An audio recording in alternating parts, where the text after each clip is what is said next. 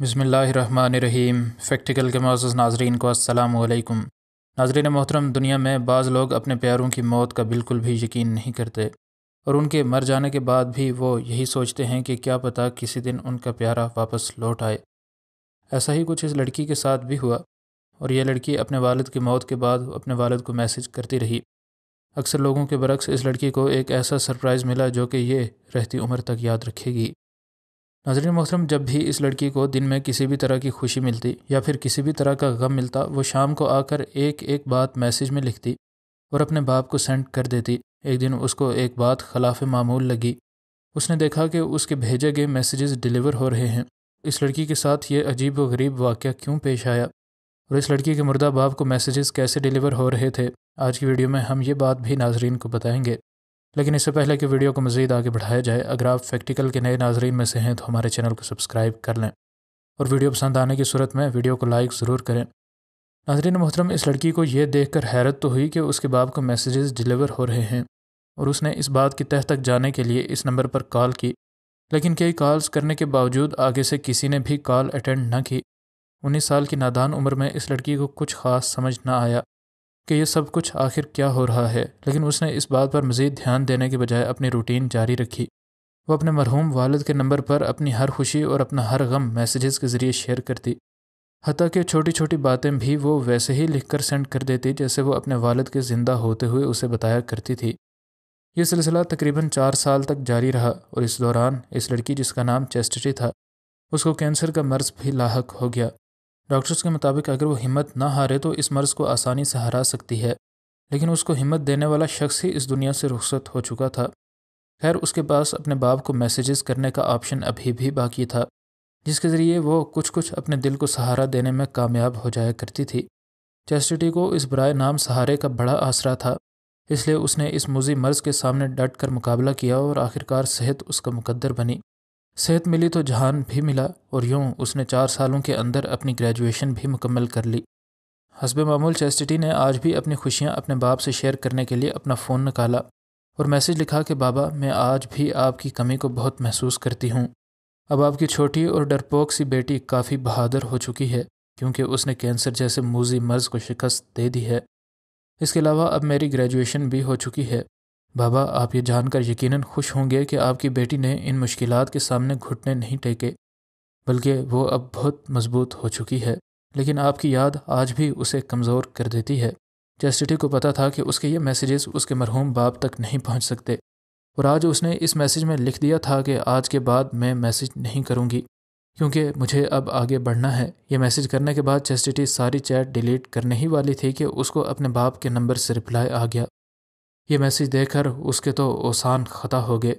अपने हवास बहाल करके उसने ये मैसेज पढ़ा तो उसे पता चला कि मैसेज उसके बाप के नंबर से तो थे, लेकिन मैसेज में मैसेज लिखने वाले ने अपना नाम ब्रॉड बताया था।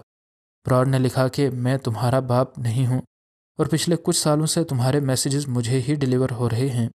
उसने कहा कि मेरी भी एक बेटी थी जो कि कुछ साल पहले एक कार हादसे में मारी गई थी। उसकी मौत के गम ने मुझे खुदकुशी तक ला खड़ा कर दिया था। लेकिन तुम्हारे मैसेजेस ने मुझे ज़िंदा रहने की वजह बताई और मैं तुम्हारे मैसेजेस को पढ़कर यूँ महसूस करता था कि मेरी बेटी ज़िंदा है। मैं तुम्हें बहुत पहले जवाब दे देता लेकिन मैंने इस वजह से जवाब न दिया कि कहीं तुम्हारी दिल आज़ारी ना हो। मुझे तुम में अपनी बेटी नज़र आती है और तुम एक बहादुर लड़की हो। न जाने उसके बाप की सिम वापस रिसाइकिल हुई या फिर उसके फ़ोन में अपने बाप के सेव हुए नंबर में किसी डिजिट की कोई गलती हुई। लेकिन खुदा की कुदरत ने बिन बेटी के बाप को बेटी से और बिन बाप के बेटी को एक बाप से मिला दिया। नाजरीन मोहतरम, इस बस का ड्राइवर जब बस पर बैठे, इस बच्चे के पाँव की तरफ़ देखता है तो वो फ़ौरन से पुलिस को क्यों कॉल कर देता है? आखिर ये सारा माजरा क्या हुआ? आज की वीडियो में हम नाजरीन को इसी बारे में आगाह करेंगे। लेकिन इससे पहले कि वीडियो को मज़ीद आगे बढ़ाया जाए, अगर आप फैक्टिकल के नए नाजरीन में से हैं तो हमारे चैनल को सब्सक्राइब कर लें। नाजरीन ग्रामी रोज़ाना की बुनियाद पर बस ड्राइवर सैकड़ों लोगों को अपनी बस पर सवार होते देखते हैं इनमें से कुछ रोज़ के मुसाफिर होते हैं, जबकि कुछ चेहरे मुकम्मल तौर पर नए नज़र आते हैं। टिम वाटसन नाम का इस बस का ड्राइवर उस दिन भी अपने रोड पर बस चला रहा था, लेकिन उसकी बस में आज ये बच्चा सवार हुआ जो कि अजीब तरह रो रहा था। वाटसन ने बताया कि मैं अपनी बस को स्टार्ट करने के लिए उस पर सवार होने लगा तो एक बंदा मेरे पास आया और उसने मुझसे पूछा कि बस किस वक्त निकलेगी। मैंने बस के निकलने का वक्त बता दिया। थोड़ी देर में यह शख्स एक बच्चे के साथ इस बस में सवार हो गया। मैंने किराया मांगा तो उसने मुझे आधा किराया निकाल कर दिया।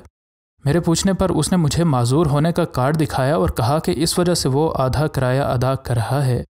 मुझे वो शख्स बज़ाहिर बिल्कुल सेहतमंद लग रहा था, लेकिन मैं उसके कार्ड दिखाने के बाद खामोश हो गया। जैसे ही वो इस बच्चे को लेकर अपनी सीट पर बैठा तो यह बच्चा रोना शुरू हो गया। कई बार मेरी बस में बच्चे अपने वालदेन के साथ सवार होने के बाद सफ़र की वजह से रोने लगते हैं, और ये बात मेरे लिए बिल्कुल नॉर्मल है। मैंने उसको नज़रअंदाज करके अपना काम जारी रखा, लेकिन कुछ ऐसा था जो कि मुझे उस बच्चे में नॉर्मल नहीं लग रहा था। ये बच्चा वैसे नहीं रो रहा था जैसे बच्चे अपने वालदेन के साथ ज़िद करके रोते हैं, बल्कि ये बच्चा रोने के साथ काफ़ी सहमा हुआ भी लग रहा था। उसके साथ मौजूद शख्स ने उसको कई बार चुप करवाने की कोशिश की, लेकिन वो लगातार रोए जा रहा था। और अब वाटसन को यूँ लग रहा था कि उसे इस बच्चे और इस शख्स पर ज़रूर नज़र रखनी चाहिए।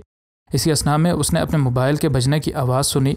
उसको अपनी कंपनी की तरफ़ से मैसेज आया था, जिसमें लिखा था कि एक तीन साल का बच्चा सुबह के वक्त पास ही मौजूद एक लाइब्रेरी से अगवा हो गया है। इस मैसेज में लिखा था कि बच्चे ने नीले रंग की शर्ट और सुर्ख रंग के जूते पहने हैं। वाटसन को यह पढ़कर फ़ौरन से अपनी बस में मौजूद ये रोता हुआ बच्चा याद आया और वो सोचने लगा कि कहीं इस मैसेज का ताल्लुक इस बच्चे से तो नहीं है। इस मैसेज में अगवाकार का हुलिया और लिबास, ब्लैक शर्ट और जीन्स बताया गया था और वाटसन ने फ़ौरन से उस शख्स को देख लिया जो कि इस बच्चे के साथ था। और उसका हुलिया भी बिल्कुल वैसा ही था। और वो सोच रहा था कि आखिर कैसे वो इन दोनों की तस्दीक कर सकता है कि यही वो लोग हैं जिनको पुलिस ढूंढ रही है। वाटसन ने उस शख्स को फिर से शीशे में देखा तो उसे यूँ महसूस हुआ जैसे वो बस से उतरने के लिए बेताब है। अब वाटसन को उसके बस से उतरने से पहले ही कोई तरीका सोचना था जिसके ज़रिए वो इन दोनों की तस्दीक कर सके। गाड़ी में सवार बाकी किसी भी मुसाफिर को इस सारे मामले के बारे में नहीं पता था। वाटसन के जहन ने फ़ौरन से एक मंसूबा बनाया। और उसने पास ही एक जगह अपनी बस रोक दी और बस के मुसाफरों वाले दरवाजे से अंदर दाखिल होकर उसने सबसे कहा कि वो एक ग्रीन कलर का लावारस बैग ढूंढ रहा है, जो कि एक मुसाफिर इस बस में ही भूल गया है। लोगों को लावारस बैग की खबर सुनकर फ़ौरन से खौफ आया और सबने सीट के नीचे और आसपास उस बैग को ढूंढना शुरू कर दिया। वाटसन भी आसपास सीट्स के पास बैग तलाश कर रहा था। कुछ मुसाफरों के अलावा उसने उस शख्स की सीट के पास आकर भी देखा और उससे पूछा कि कहीं आपने इस कलर का बैग तो नहीं देखा? उसने कहा कि मैंने ऐसा कोई बैग नहीं देखा। इस दौरान उसको बच्चे के कपड़ों और जूतों को देखने का मौका मिल चुका था। अपने शक को यकीन में बदलने के बाद वह वापस अपनी सीट पर आया और उसने किसी को कॉल की और किसी को भी उस पर शक न हुआ, क्योंकि सब यही सोच रहे थे कि वो अपने ऑफ़िस में बता रहा होगा कि उसको ऐसा कोई बैग अपनी बस में नहीं मिला। उनको नहीं पता था कि वाटसन ने कॉल करके बता दिया है कि उसको शक है कि सुबह अगवा होने वाला बच्चा और अगवाकार उसके साथ बस पर सवार हैं। उसको बता दिया गया कि वह अपनी रूटीन के हिसाब से बस चलाता रहे, लेकिन बस की रफ्तार काफ़ी कम रखे। यहाँ मसला ये था कि वाटसन की बस का आखिरी स्टॉप काफ़ी करीब आ चुका था और यह अगवाकार एक बार बस से उतर जाता तो उसका मिलना उसके बाद तकरीबन नामुमकिन था। उसने एक बार फिर से उसको शीशे में देखा और अब बच्चा भी चुप हो चुका था और यह अगवाकार अब बस से उतरने की तैयारी कर रहा था। Watson Aahista Aahista bus stop की तरफ़ बढ़ रहा था और दिल में दुआ कर रहा था कि जल्द अज जल्द पुलिस वाले यहाँ पहुँच जाएँ। अब वो अपने बस स्टॉप के बिल्कुल करीब पहुँच चुका था और उसकी उम्मीद काफ़ी कम हो चुकी थी। कि अचानक उसने अपने शीशे में पुलिस वालों की गाड़ियों को देखा? उनके सायरन बंद थे और उनकी गाड़ियाँ तेज़ी से बस के पीछे आ रही थीं। उसने आखिर अपने स्टॉप पर बस रोक दी और इसी असना में कई पुलिस वाले दौड़ते हुए इस बस के पीछे पहुँच चुके थे। वाटसन ने बहुत आहिस्ता आहिस्ता दरवाज़ा खोला ताकि पुलिस वालों को मज़ीद वक्त मिल सके। जो ही दरवाज़ा खुला तो इस अगवा कार ने इस बच्चे के साथ बाहर निकलना चाहा, लेकिन पुलिस वाले पहले से बाहर उसका इंतज़ार कर रहे थे। बगैर वक्त ज़ाय किए उसको गिरफ़्तार कर लिया गया और बच्चे की शनाख्त भी कर ली गई। जल्द ही बच्चे को उसके परेशान हाल वालदेन से मिलवा दिया गया और वाटसन एक हीरो की तरह इस इलाके में मशहूर हुआ और उसके इस काम की वजह से उसको हौसला अफजाई का अवार्ड भी मिला।